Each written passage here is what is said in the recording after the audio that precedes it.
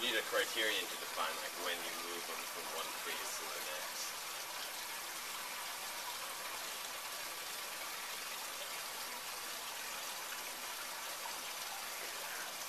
You know, so as, you're gonna have to decide like how many times will he